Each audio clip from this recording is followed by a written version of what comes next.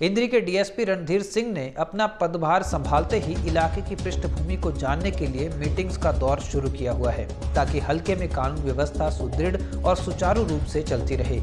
इसी को लेकर उन्होंने अपने कार्यालय में एक पत्रकार वार्ता कर लोकसभा चुनाव आने वाले हैं, इस बारे में विचार विमर्श किया।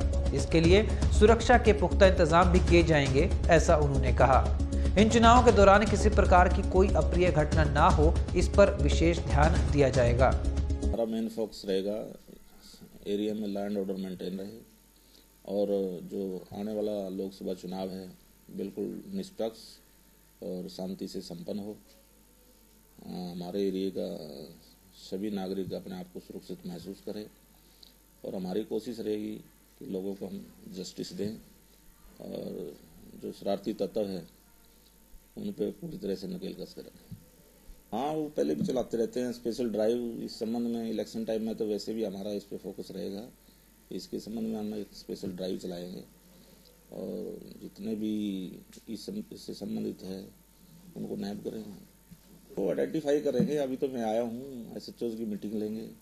इस तरह की पता लगा है मुझे कि भी इस तरह के कुछ है लड़के आवारा टाइप के तो उनको टाइट करेंगे।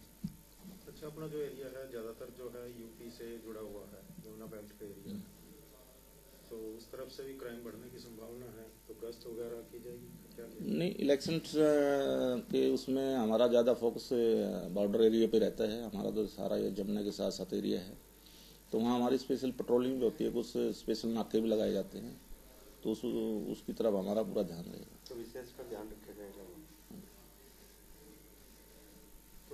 आदमियों की किसी मीटिंग का कोई व्यवस्था अभी लेंगे हम जो हमारे एरिया के मौजूद आदमी हैं जो पुलिस को सपोर्ट करते हैं जो हर कम्युनिटी का जो अच्छे आदमी हैं तो उनका मीटिंग लेंगे।